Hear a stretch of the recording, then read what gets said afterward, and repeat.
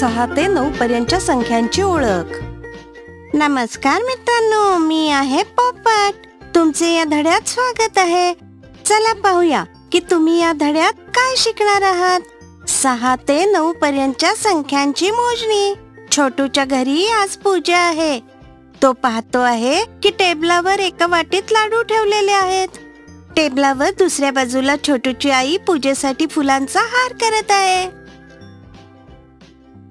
मला खूप भूक लागली आहे. काय मी हे सगळे लाडू खाऊ? नाही बाळा हे खूप सगळे लाडू आहेत. इतके सगळे लाडू खाशील तर तुझ्या पोटात दुखायला लागेल. ओ असं? या वाटीत किती लाडू आहेत? छोटू आता मी कामात आहे. तू स्वतःच मोजून सांग किती लाडू आहेत? बरे आई. एक दोन म्हणजे या वाटीत पाच लाडू आहेत हो ना? मुलांनो काय छोटूने वाटीत ठेवलेले लाडू बरोबर मोजले? चला पाहूया. खूप छान छोटू. आता या पाच लाडवातील तू दोन लाडू खाऊ शकतोस. एक आणि दोन. धन्यवाद आई. तर मुलांनो तुम्हालाही छोटू प्रमाणे एक ते पाच पर्यंत मोजता येते ना? चला पाहूया की एखादी वस्तू जर संख्येत पाच पेक्षा जास्त असेल तर त्यांना आपण कसे मोजायचे? आई काय मी पण फुलांचा हार करायला तुला मदत करू? का नाही छोटू?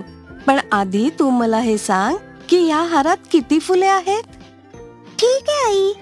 एक दोन तीन चार पाच आणि थोडीशी आणखीन. किती थोडी? हे तर मला नाही माहिती. बाकीच्या फुलांना कसे मोजायचे? मी तुझी मदत करते. या पाच फुलांबरोबर जर आपण आणखीन एक फूल आणले तर हे सहा म्हणजे सिक्स फुले होतील.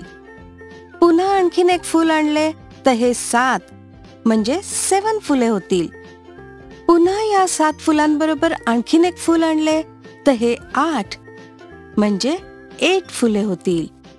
आणि पुन्हा हे शेवटचे फूल आणले तर हे नऊ म्हणजे नाईन फुले होतील. समजले? हो आई. चल पुन्हा आता तू स्वतः मोजून सांग की या हारात किती फुले आहेत. एक दोन तीन चार पाच सहा सात आठ आणि नऊ म्हणजे नऊ फुले आहेत. खूप छान छोटू. चल आता पूजेची वेळ झाली आहे. पटकन हात धुवून ये. तर मुलांनो काय तुम्ही पण आता छोटू प्रमाणे नऊ पर्यंत मोजू शकता ना? आजच्यासाठी बस इतकेच. या व्हिडिओमध्ये आपण नऊ फुले मोजायला शिकलो. पुढच्या व्हिडिओमध्ये आपण सहा ते नऊ पर्यंतच्या संख्यांची काही उदाहरणे पाहू. तोपर्यंत बाय मित्रांनो!